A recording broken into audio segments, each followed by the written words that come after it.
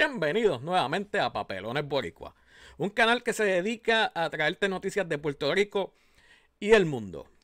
Eh, por aquí están mis redes sociales, ahí te puedes suscribir a cualquiera de ellas. Este, también este, te invito a compartir este video con familiares y amigos si te gusta. Ok, pasando al, al video que les traigo eh, en este momento es sobre el seguimiento al caso de Pinky Kirby. Ok.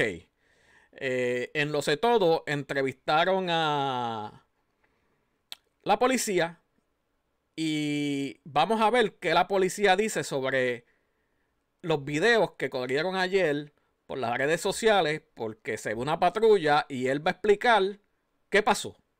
Vamos a ver. Vamos a ver por aquí. Vamos a ponerme pequeñito. Como siempre. Uy. Ok, vamos a ponerlo por aquí. Vamos a escuchar. Coronel, le pregunto, estas, eh, estos visuales que hemos visto a través de, de, las redes sociales, las cámaras de seguridad, me llama la atención el caso de Cayo Caribe, en donde en la misma cámara de seguridad se ve una patrulla que estaba pasando, que eh, pasa en ambos lados, eh, antes del, tiroteo, de que el, vehículo entre a, cámara y luego de que pasa el tiroteo. ¿Se dio con alguien en una persecución? ¿Se logró capturar a alguien? Mira, lo que ocurrió en ese caso es que eh, esto ocurre la avenida Roosevelt. Esta pareja sale de un, de un negocio del área de, de dicha avenida, pasa por la urbanización Roosevelt, distintas calles, lo van persiguiendo y conte, comienzan a disparar contra ese vehículo. sale nuevamente hacia la avenida Roosevelt, brinca la isleta y llega a, Cayo Caribe el individuo que va conduciendo el vehículo y ya la joven ya había fallecido dentro de, de, del, del, vehículo de motor que él dejó abandonado. Eh, en ese momento hay unos videos, ¿verdad? Hay varios videos. Hay uno que momentos antes de que la guagua cruce la avenida Roosevelt, eh, baja una patrulla, baja una patrulla. que había recibido ya eh, información de que había un tiroteo en el área de la Roosevelt, pero no sabía específicamente dónde era.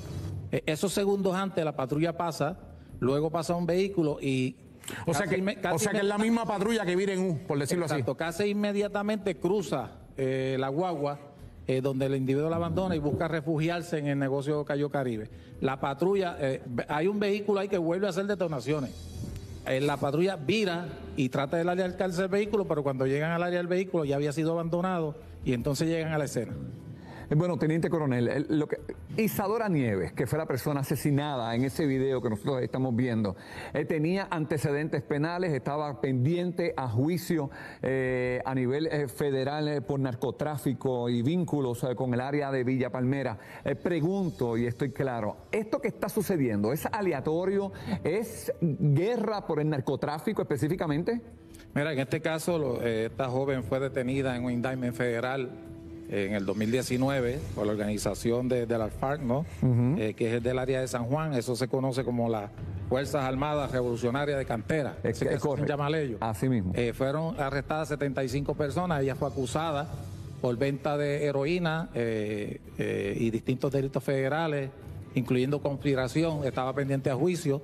Estas son situaciones que ocurren en un caso por acecho eh, donde las características de este caso, eh, por la experiencia que, ¿verdad? que yo tengo, uh -huh. eh, nos dice que puede estar vinculado al narcotráfico, alguna, alguna eh, encomienda que había contra esta persona. Usted fue director de drogas a nivel isla. Lo sucedido anoche en el área de Monteatillo, también dos féminas, una persona fue asesinada y la otra gravemente herida. ¿También están ligadas al narcotráfico? Mira, eso es otro caso que sale, surge como a en horas de la noche, ¿verdad? Sale del área de Montepark, dos jovencitas, 19 y 21 años, no tienen récord criminal.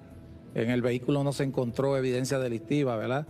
Eh, son acechadas eh, y ese vehículo recibió una gran cantidad de impactos de balas. Eh, la joven también muere dentro del vehículo cuando llegan al puesto de gasolina que está en la avenida. Y la que va conduciendo recibe una cantidad de impacto Pero de este- que la tiene en el hospital. Pero este tipo de situaciones, usted que, usted que tiene experiencia sobre esto, eh, ¿se da porque hay una escasez de drogas? ¿Se da por una guerra de control de puntos de droga? Eh, ¿Qué es lo que está pasando que en las últimas semanas han aumentado este tipo de incidentes en el área metropolitana? Bueno, hay, hay distintas vertientes, ¿verdad? La experiencia nos dice que puede ser por distintas cosas. Lo que pasa es que aquí no se ha definido el móvil como tal. En la forma, las características que tienen estos casos, eh, eh, se puede dirigir a que puede haber problemas por cuestiones de, sustancias controladas de droga. Pero eh, como no se ha definido cuál fue, qué fue lo que ocurrió, qué fue lo que motivó a estos sicarios a, cometer estos actos violentos, y eso está bajo investigación, pues por lo tanto, pues no podemos definir como tal La- que es por eso. ¿La persona herida está bajo la custodia de la policía? Hay dos personas heridas en el centro médico, hay vigilancia nuestra que se mantienen en el área y personal de allí de centro médico tiene seguridad también. Una última pregunta, teniente coronel. Ante todo esto, ¿qué se va a hacer? ¿Qué la, qué la policía de Puerto Rico va a hacer para frenar lo que está sucediendo en las calles de San Juan? Bueno, yo te voy a hablar del área de San Juan. No, nosotros hemos mantenido unos, unos planes de trabajo que nos han sido efectivos.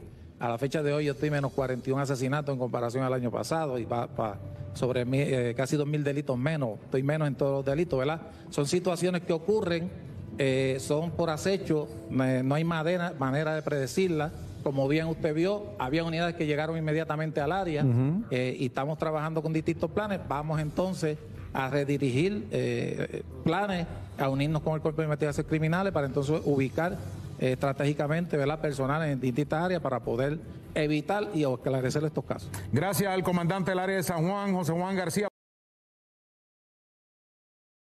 Ahí ya vieron.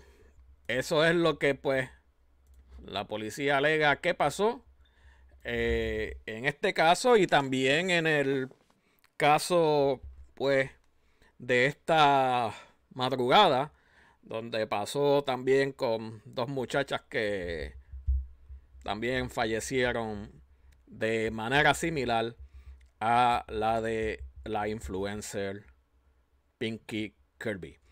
Así, amigo, eh, dale a la campanita para que te eh, avise cuando subo un video. Así que nos vemos en el próximo video. Eh, nos vemos familia. Bye.